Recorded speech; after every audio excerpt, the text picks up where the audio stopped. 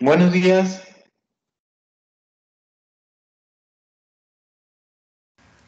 Buenos días. Buen día. Eh, denme pie para la clase. ¿Alguna idea, alguna pregunta, algún comentario, alguna aportación, algún...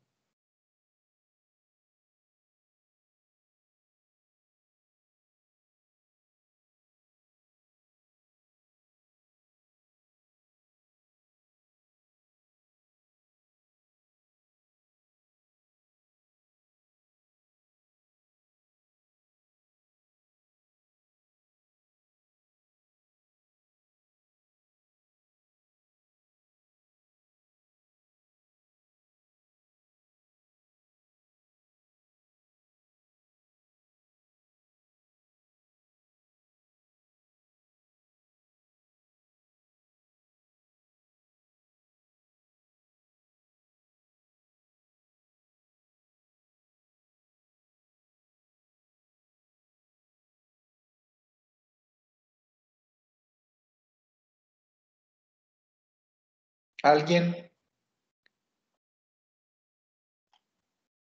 Pues por mi parte no, doctor, no sé si los demás.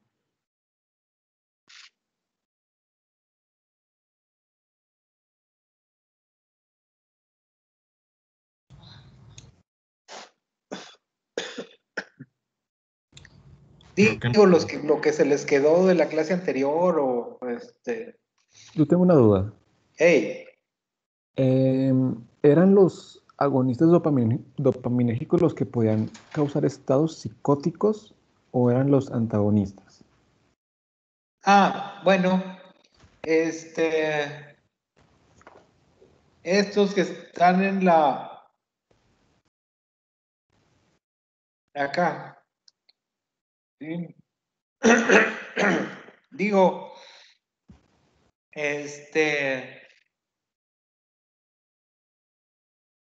los estimulantes en general, como los que se mencionan ahí, pues, anfetaminas, metilfenidato, cocaína. Este, y vamos agregándole metanfetaminas que mencionábamos cuando estábamos hablando de, de la noradrenalina. O sea, el, el empleo de estimulantes, como dice ahí en la diapositiva, ¿no? O sea, alguien que se mete eh, cristal o anfetaminas o cocaína de manera frecuente y prolongada, bueno, pues es- también depende del, del cerebro de cada quien, ¿no? Me refiero, hay quienes muy rápido pueden eh, presentar un cuadro psicótico, este, pero entonces los estimulantes lo que hacen es que causan depresión de los reservorios de dopamina y noradrenalina y entonces la estimulación dopaminérgica excesiva pues puede este, precipitar en algunas personas la aparición, como dice aquí en la diapositiva, de estados psicóticos con características paranoides y agitación, pues aumento de la actividad psicomotriz. Este, luego, luego aparece en, en- aparece en la memoria la presencia de los cuadros que digo tradicionalmente se llamaban intoxicación crónica con anfetaminas, ¿no? Este, pero bueno, lo que quiere decir es el sujeto que utiliza estimulantes de, de manera frecuente, regularmente presenta un cuadro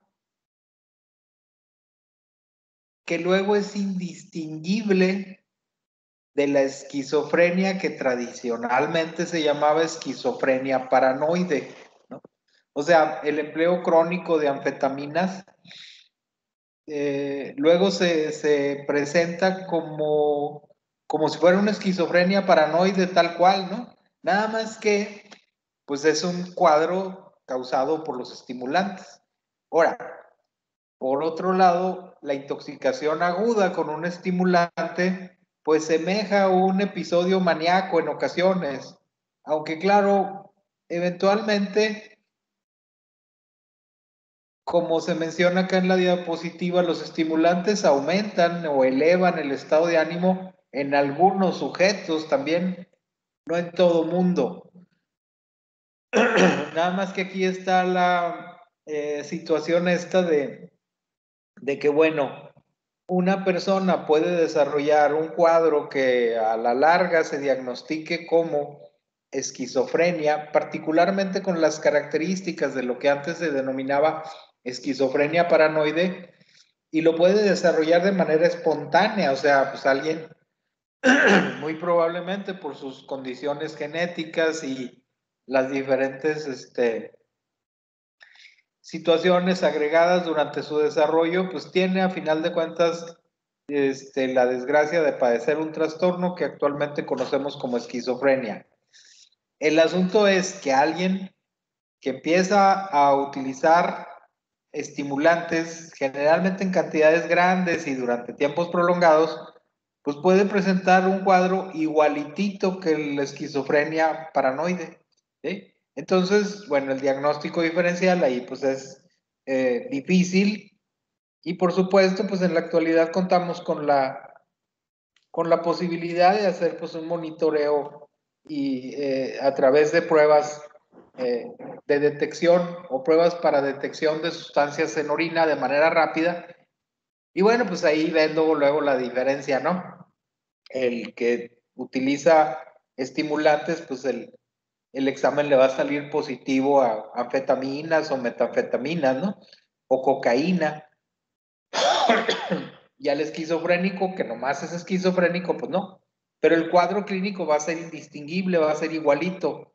Aquí la dificultad que luego nos, bueno, una de las dificultades que luego nos encontramos es que aparte vamos a tener las situaciones donde el empleo de los estimulantes precipita la, aparición de un cuadro de esquizofrenia en una persona que ya venía cascabeleando. O sea, porque luego no es raro tampoco que te encuentres personas que tienen esquizofrenia y que también usan drogas. O sea, hay cuadros pues combinados y eso pues lo debería de tener uno también en cuenta. Ahora, sea melón o sea sandía, sea una cosa o sea la otra, estos efectos que les estoy diciendo, que bueno, en este caso sería una psicosis anfetamínica, ¿verdad? Pueden ser bloqueados con antagonistas dopaminérgicos. ¿sí? Y eso de los antagonistas dopaminérgicos es la idea central que estaba yo tratando de transmitirles la clase anterior, o sea, los antipsicóticos, los antipsicóticos, los clásicos y los no tan clásicos y los intermedios y cualquier antipsicótico que se precie de serlo, generalmente tiene un efecto sobre receptores de dopamina. Y particularmente los antipsicóticos más antiguos pues tendían, a bloquear con mayor intensidad los receptores dopaminérgicos, particularmente los D2. Entonces, si en el asunto acá de la bioquímica o de la neurobioquímica, o para el examen parcial, este, los antipsicóticos son bloqueadores dopaminérgicos de dos, ¿va? Entonces esa sería la pregunta, ¿qué hacen los antipsicóticos o este, cuál es la acción principal de los antipsicóticos, particularmente de los típicos? Pues son bloqueadores dopaminérgicos de dos. Y es ese bloqueo dopaminérgico de dos lo que nos explica la disminución propiamente de los síntomas psicóticos, estos que están acá, ¿verdad? Los estados psicóticos, las alucinaciones y las ideas delirantes pueden, y la agitación que luego se presenta en pacientes este, que tienen estos trastornos, pues pueden este, ser tratados con antipsicóticos. Entonces acá si lo pasamos al plano práctico, los bloqueadores o los antagonistas dopaminérgicos D2 de los que estamos hablando aquí son los antipsicóticos. En este caso que estamos mencionando aquí, pues son los neurolépticos clásicos, ¿no? y los neurolépticos clásicos, pues son el que les mencionaba la clase pasada, la cloropromacina, la levomepromacina, la tioridacina, la trifluoperacina, todos los antipsicóticos descritos tradicionalmente como neurolépticos. Esos se pueden utilizar también en el tratamiento o en el manejo de la manía. Entonces, si el paciente tiene un cuadro psicótico, si el paciente está maníaco, lo que se nos debe de venir a la mente de inmediato es, pues la prescripción probablemente va a ser de un antipsicótico. Ahora, también en el asunto práctico, los antipsicóticos que se utilizan hoy en día en su inmensa mayoría, pues no son los neurolépticos clásicos. Aquí ponemos la palabra elegante, los neurolépticos clásicos, pues precisamente porque es una clase, ¿no? Y en la clase luego pues hay que echar mano de los conocimientos que han ido este, evolucionando a lo largo del tiempo y luego tú te encuentras también en los textos, vas y los revisas y pues ves que de todas maneras te mencionan, vaya, vas al, al al texto de farmacología de Goodman y Gilman y pues te van a mencionar la tioridacina y la perfenacina y la este, trifluoperacina y la, eh, la flufenacina y el aloperidol y toda la lista de antipsicóticos clásicos. Bueno, a lo mejor no toda, pero te van a mencionar varios. Entonces, acá en la clase también, te digo, los mencionamos por el asunto académico elegante de pues yo me sé los antipsicóticos, ¿verdad? Pero en la actualidad es muy difícil que te encuentres que todavía alguien está utilizando eh, antipsicóticos clásicos o neurolépticos típicos porque pues ya casi no se usan debido a que se han empezado a utilizar más los antipsicóticos de segunda generación. Ahora, esos también bloquean receptores de, dopamina. Nada más que luego los bloquean con menos intensidad o tienden a separarse más rápido de los receptores de dopamina. Y entonces, en términos generales, el beneficio que tenemos actualmente al utilizar más antipsicóticos atípicos que antipsicóticos típicos es que con los antipsicóticos atípicos o de segunda generación tenemos una menor cantidad de pacientes que luego van a desarrollar estos síntomas desagradables que se conocen como síntomas extrapiramidales, ¿verdad? Y de los antipsicóticos nuevos, pues podemos mencionar ahorita de pasadita, te digo, como para la cuestión práctica, aquí sí, porque esos se usan con más frecuencia en la actualidad. Mencionar, por ejemplo, a risperidona, mencionar a olanzapina, mencionar a Ketiapina, probablemente mencionar a este. Ay, se me fue el nombre. Eh, ciprasidona, ¿sí?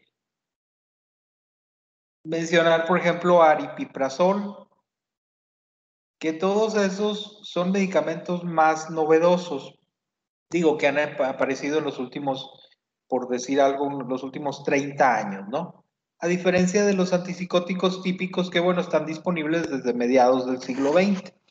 Ahora, con todo y todo, pues fue una, una revolución en el campo de la atención a las personas con, con trastornos mentales graves, con cuadros psicóticos, porque, bueno, liberan a la persona de algunos síntomas.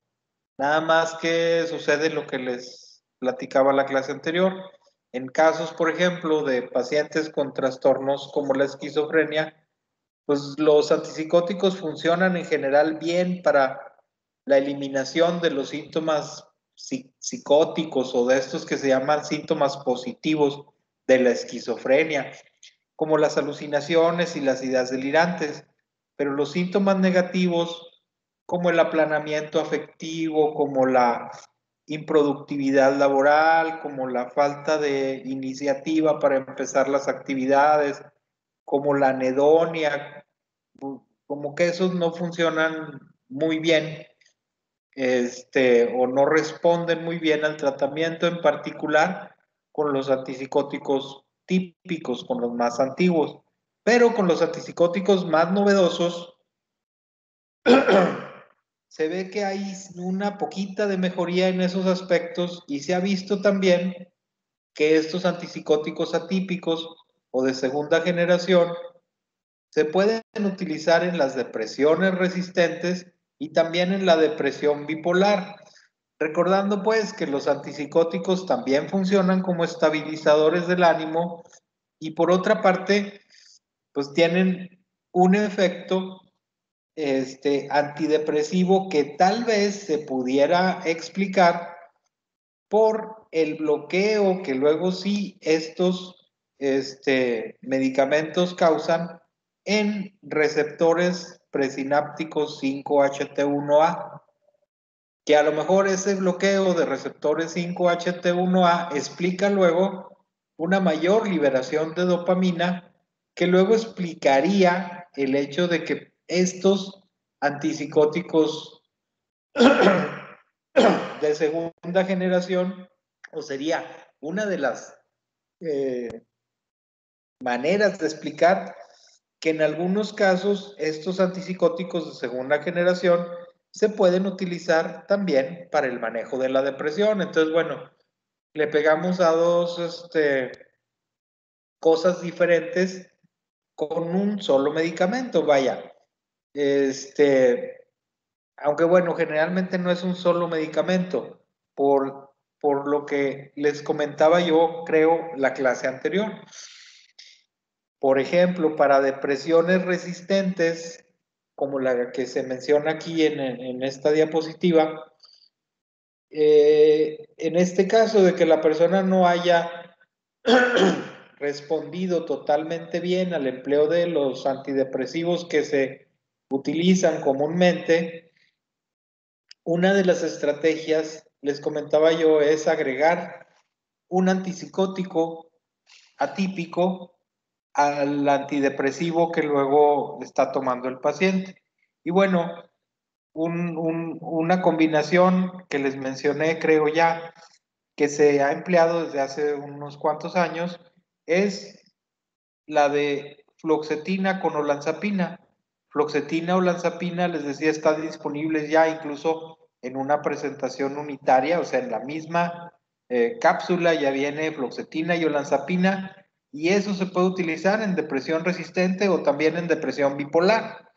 ¿sí? Eh, depresión bipolar, pues pensando que ya lleva integrado el, el, este, el estabilizador del ánimo y también, pues tendiendo a pensar que las depresiones bipolares también tienden a ser bastante este, severas, pues bastante graves, particularmente en pacientes que tienen trastorno bipolar tipo 2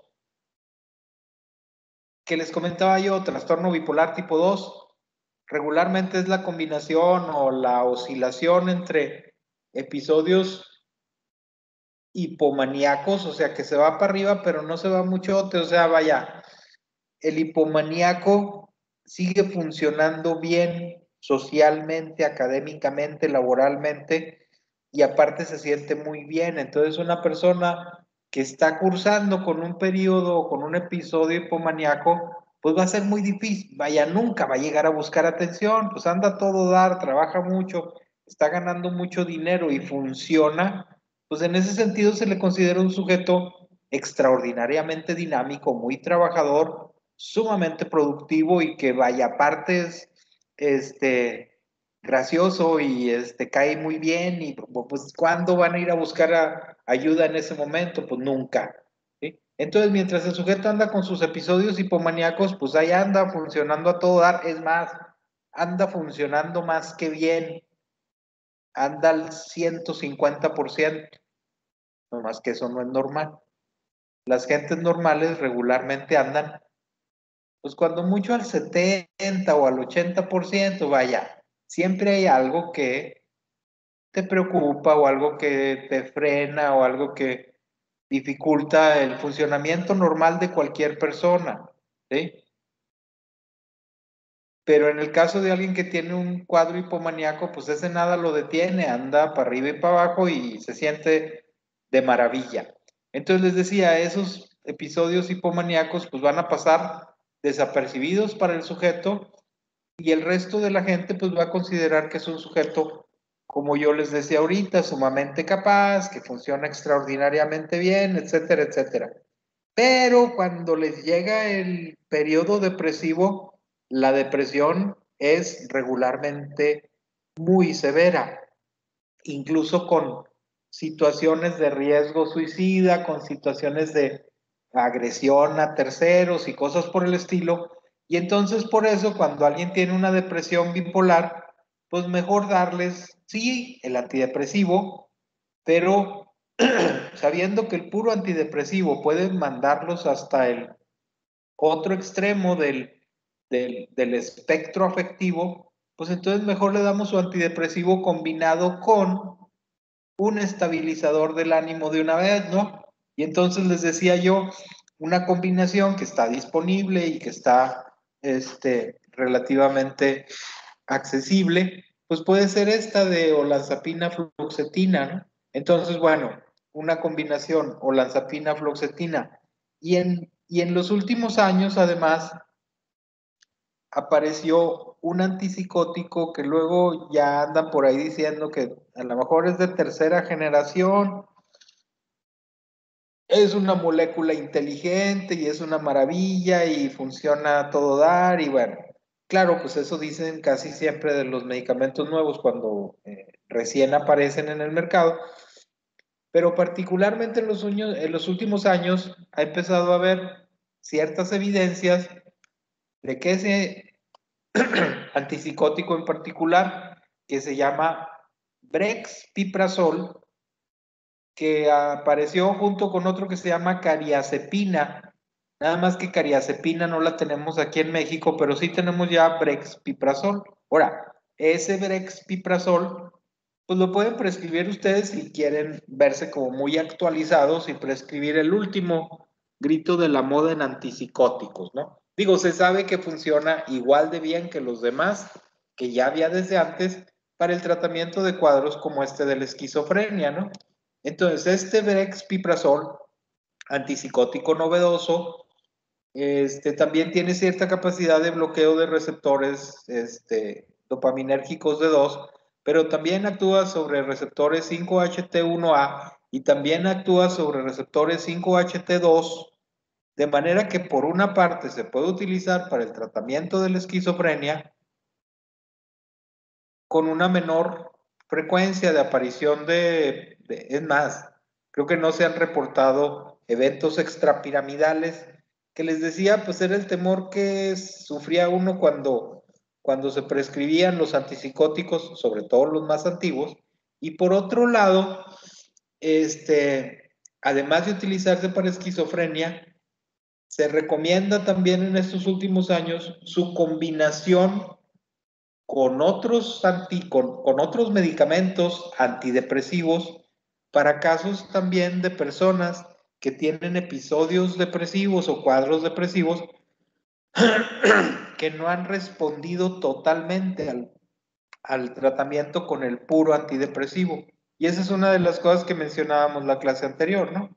Y entonces una opción, les decía, puede ser esa o la zapina fluoxetina, pero últimamente se recomienda, por ejemplo, al antidepresivo que está tomando la persona, agregarle una cantidad pequeñita de este nuevo antipsicótico que se llama Brexpiprazol, tal vez 0.5 miligramos o un miligramo, ¿sí? 0.5 miligramos o un miligramo de Brexpiprazol pueden ser servir como coadyuvante, como refuerzo para el tratamiento antidepresivo en una persona que está tomando antidepresivos, pero que no ha respondido al 100% con el puro antidepresivo. Ahora, por otro lado, este mismo brexpiprazol se puede utilizar en el tratamiento de la esquizofrenia.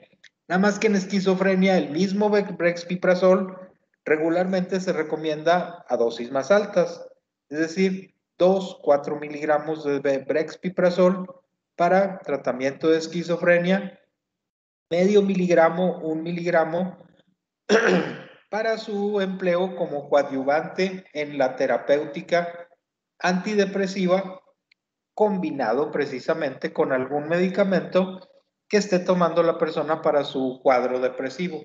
Entonces, bueno, acá se cumple esto que les pongo yo en la parte final de la diapositiva. Algunos antipsicóticos atípicos se pueden utilizar en el manejo de depresiones resistentes. De hecho, también se puede utilizar cualquier otro antipsicótico, ¿verdad? Al, que ustedes le tengan confianza o con el que estén más familiarizados para manejarlo. Ahora, antes nos preocupábamos mucho por la presentación de efectos extrapiramidales cuando prescribíamos los antipsicóticos llamados estos neurolépticos clásicos, ¿no? Pero ahora con la segunda generación de antipsicóticos, el pendiente es que luego muchos pacientes tienden a desarrollar un síndrome metabólico. Es decir, los antipsicóticos más nuevos a lo mejor no causan tantas distonías y tanto Parkinson medicamentoso, pero sí hacen que aumente el apetito de los pacientes y que los pacientes empiecen luego a subir de peso y por consecuencia este, nos encontramos con alteraciones en las tasas de glicemia de los pacientes, problemas en los niveles de concentraciones de lípidos, ¿sí? Por supuesto, el propio aumento de peso y, y eso se ha convertido en un problema en el tratamiento de los pacientes psicóticos particularmente pues, los más este, crónicos, como en el caso de los que cursan con, con, con una esquizofrenia, ¿no? Entonces, bueno, este, no sé si le contesté, doctor, o sea, los bloqueadores o los antagonistas dopaminérgicos, pues, son los antipsicóticos, ¿sí?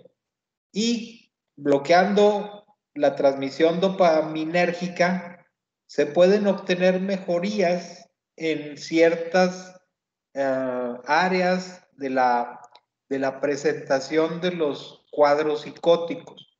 O sea, si bloqueas los receptores dopaminérgicos D2 y si atinas a bloquear nada más el 72% de los receptores D2 del cerebro de una persona con, con, con una psicosis, lo más probable es que los síntomas psicóticos disminuyan o desaparezcan con el empleo pues del antipsicótico. Entonces, el bloqueador dopaminérgico pues es el, es el, es el antipsicótico, o sea, los antagonistas dopaminérgicos son todos esos que mencionamos ahorita. La tioridacina, la perfenacina, la, la trifluoperacina, el aloperidol, o de los nuevos, la risperidona, la olanzapina, la quetiapina, la misulprida, el aripiprazol, incluyendo hasta este novedoso que les digo se llama brexpiprazol. O sea, los, los antipsicóticos, pues en general son antagonistas dopaminérgicos y sirven para el tratamiento de la psicosis, de la psicosis espontáneas, así como la esquizofrenia, pero también para el tratamiento de la psicosis generadas por el empleo de, en este caso que mencionamos aquí, de estimulantes, ¿no? O sea, puede haber una psicosis desencadenada por el consumo de drogas. Y entonces, un paciente que ves tú psicótico porque tiene una, como les decía, una psicosis anfetamínica, pues también pues, se pueden emplear los antipsicóticos, nada más que en el caso de que sea exclusivamente una psicosis por consumo de drogas, digo exclusivamente, nomás eso, pues entonces eh, regularmente al ir disminuyendo el consumo de la sustancia o suspender el consumo de la sustancia, más el efecto aditivo que le pones ahí con el antipsicótico, pues el cuadro este, va a mejorar bastante, ¿no? Les decía, eso no va a suceder si la persona tiene esquizofrenia y aparte esta va acompañada por el consumo de sustancias, o sea, va a ser más complicado el, el, el hecho de que el paciente mejore todavía a un nivel más elevado de funcionamiento.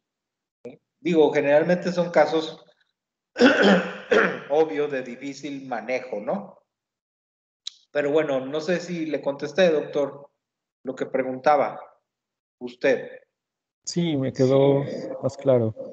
Bueno, entonces, antipsicóticos se pueden usar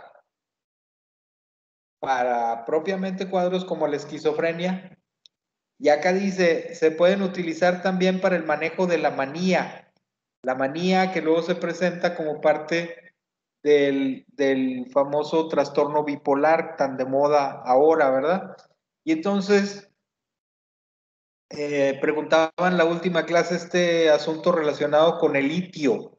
Entonces les decía yo, importante tener en mente el litio para el examen parcial porque,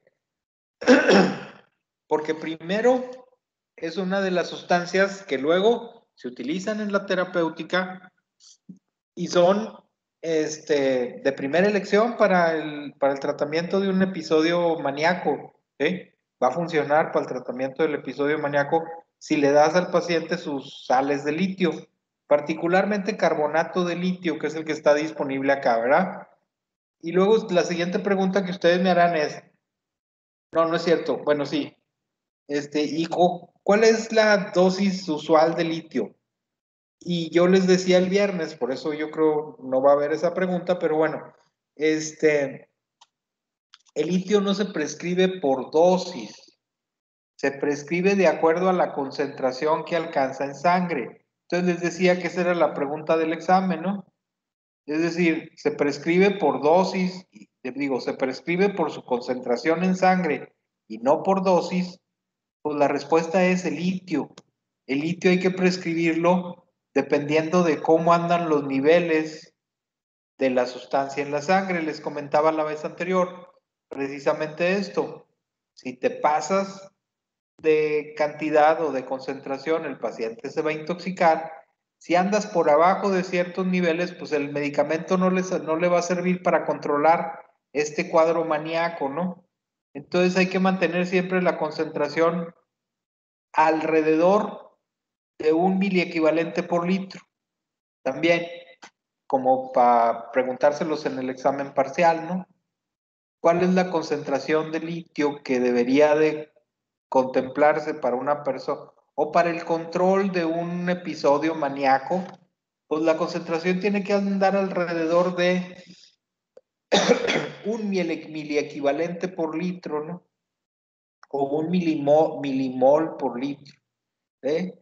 aunque bueno, yo estoy más acostumbrado a, hablar en términos de miliequivalentes. Entonces, un miliequivalente de litio por litro, eso es la concentración que debe de haber o la concentración óptima para, el para, para decir estamos en niveles terapéuticos, pues. Si me voy arriba de 1.5 miliequivalentes, el paciente se me va a intoxicar y va a empezar con síntomas este, hasta neurológicos, ¿no? Dependiendo de la concentración. Y si ando por abajo de 0.8 mil equivalentes por litro, pues a lo mejor el litio no va a servir de nada para el control de un episodio maníaco. Entonces, bueno, hay que tener el control de la concentración de litio para saber que estamos en niveles terapéuticos.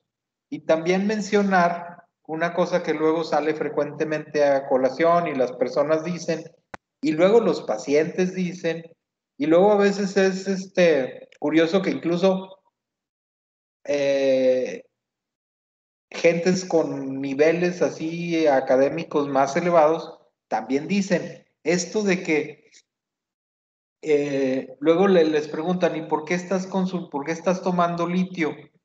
Y luego lo que responden los pacientes regularmente es, pues es que el doctor me dijo que me faltaba litio y como me falta litio, entonces este, pues por esa es la razón por la que tengo trastorno bipolar o algo así por el estilo.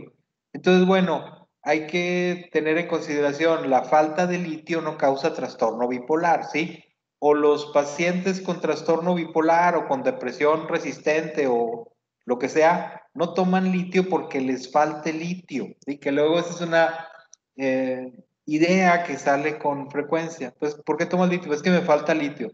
No, no, no. A las personas se les prescribe litio porque se ha visto que el litio funciona para el control de ciertos cuadros psiquiátricos, en este caso particularmente para el control del trastorno bipolar. Ahora, el litio no es un antipsicótico y les decía yo la clase pasada, incluso el litio ni siquiera es un medicamento, es un elemento de la tabla periódica. Sin embargo, desde mediados del siglo pasado, desde 1949, se sabe que tiene ciertas propiedades tranquilizantes. Entonces, bueno, este, se ha venido utilizando desde ese entonces, así con sus altas y sus bajas en diferentes momentos, pero en la actualidad se sigue considerando que es un medicamento útil para el control de los cuadros bipolares, particularmente de los episodios maníacos. Nada más que hay que tener en consideración que litio nada más lo tenemos en presentación para uso por vía oral. Entonces es un eh, obstáculo pues para el tratamiento porque los pacientes en esos estados, por ejemplo el paciente maníaco, pues no va a querer tomarse el medicamento. Y con la otra, además el litio se tarda varios días en empezar a tener realmente un efecto sobre el estado de ánimo en el caso de los pacientes con trastorno bipolar, particularmente cuando cursan con un episodio maníaco, ¿no? Entonces, bueno, regularmente al paciente hay que administrarle también un antipsicótico, como se menciona aquí en esta diapositiva, o sea, este, al inicio del tratamiento de un episodio maníaco, pues regularmente conviene darle al paciente un antipsicótico. En esta época, pues un antipsicótico atípico, ¿no? Aunque los neurolépticos clásicos se pueden utilizar en el manejo de la manía, digo, le puedes poner aloperidol, vaya, que es el que queda de los clásicos, así como disponible, y funciona muy bien, o sea, funciona muy bien. También funciona que hasta se le conoce como incisivo, o sea, eh, del aloperidol se dice que es un neuroléptico incisivo, o sea, no se anda con rodeos, le pones aloperidol y el paciente se calma porque se calma. Nada más que se calma además porque el aloperidol tiende a producir con mucha frecuencia estos síntomas extrapiramidales que decíamos. Entonces, le pones 5 o 10 miligramos de aloperidol al paciente y el paciente se va a rigidizar, se va a secundarizar, entonces va a estar todo rígido. Si, si le pones aloperidol a un paciente maníaco, pues va a desarrollar un cuadro de rigidez muscular y entonces pues ya no va a andar corriendo y ya no va a andar desatado y ya se va a calmar. Entonces, este, pues a lo mejor ya lograste el objetivo que buscabas. Nada más que sí hay que tener en consideración también que luego con los antipsicóticos típicos se describe también la presentación de este cuadro que les digo, es raro eh, en cuanto a frecuencia, pero luego sí se puede presentar y se llama síndrome neuroléptico maligno.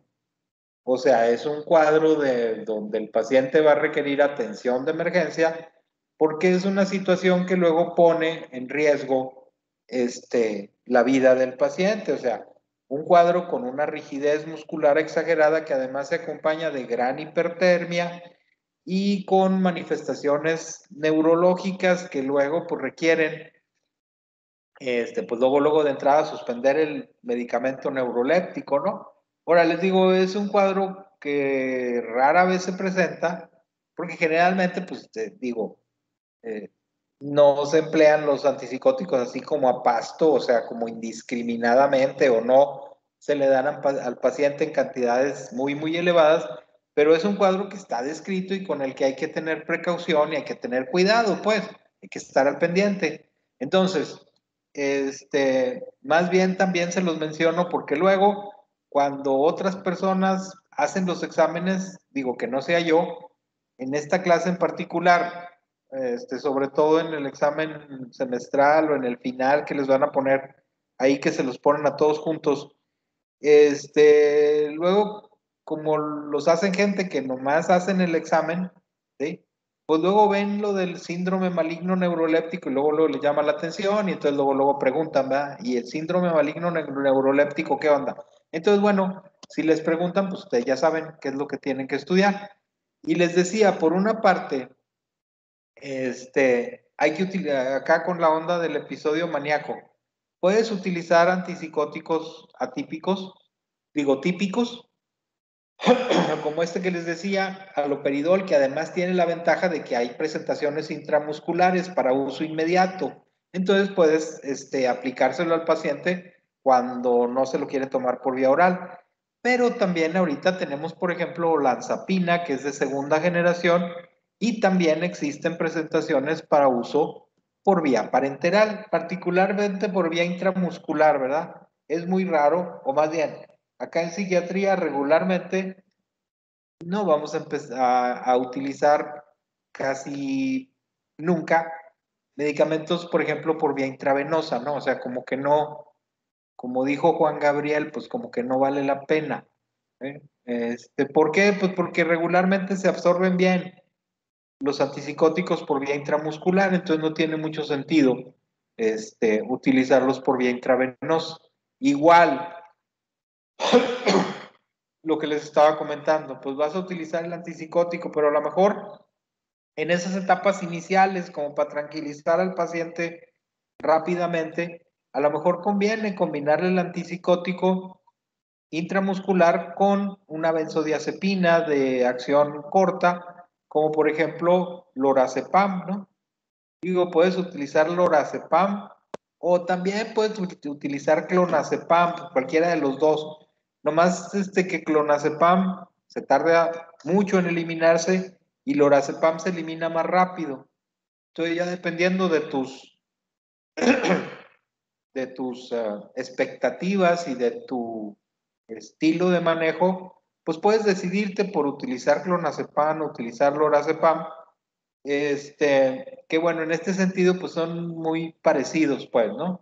Nada más lo que les mencionaba, lorazepam se elimina rápido, clonazepam se tarda mucho más en eliminarse. Y entonces, la idea, pues, general es, para el episodio maníaco,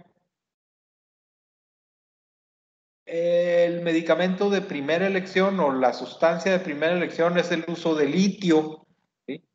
Nada más que como el litio se va a tardar un rato más prolongado en empezar a ejercer sus efectos, entonces regularmente al principio pues hay que emplear este, ya sea una benzodiazepina con propiedades sedantes o un antipsicótico, preferentemente uno de segunda generación y a lo mejor estos por vía intramuscular, porque regularmente el paciente maníaco no va a querer tomarse el tratamiento así como de primera, de primera intención, ¿no?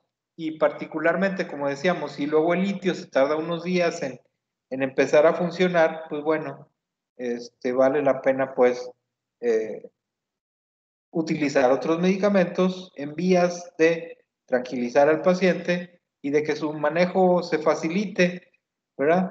Entonces, creo que eso es lo que les quería decir.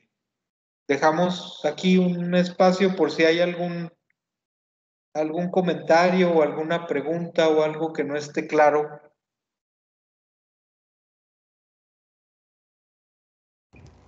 de lo que vimos hoy.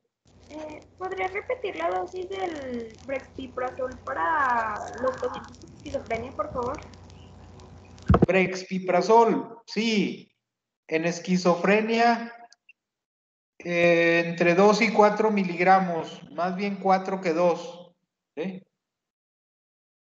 entre 2 y 4 miligramos para esquizofrenia y entre 0.5 y 1 miligramo como tratamiento eh, coadyuvante para depresión eh, que no responde al puro antidepresivo. Digo, también no es con puro brexpiprazol, ¿verdad? O sea, la persona ya se sigue tomando su antidepresivo, pero este, también va a empezar a tomar aparte el, el, el brexpiprazol, ¿sí? La desventaja que tiene ahorita, pues que como es un medicamento de reciente aparición, pues ahorita todavía es, este, es, es bastante caro, pero parece que sí funciona bien. Bueno, y bueno, lo mencionamos, lo mencionamos aquí junto con todos los otros antipsicóticos, ¿no? ¿Sí? ¿Alguien más?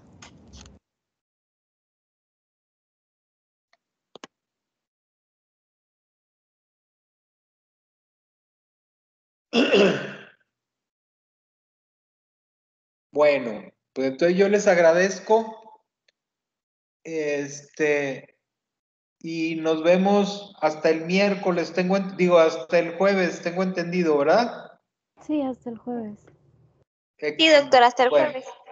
Ándele pues, este, disfruten el, el puente patrio y nos vemos el jueves. Gracias. doctor. Igualmente. Gracias. Bye. Hasta Bye. el jueves. Gracias, Doc. Gracias. Bye.